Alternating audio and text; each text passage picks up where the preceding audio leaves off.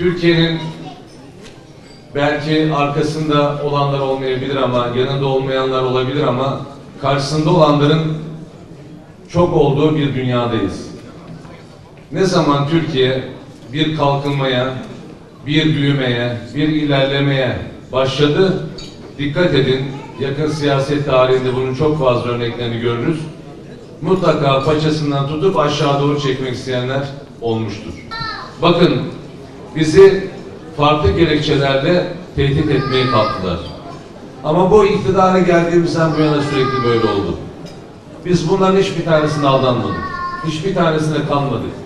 Çünkü kaybedecek şeyler olmayan insanlarız bizler.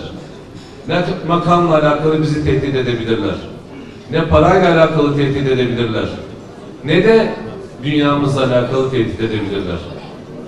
Biz Allah'ın verdiği ömrü tamamladığımızda dünyadan ayrılacağımızı bilen insanlarız. Buna iman etmiş olan insanlarız.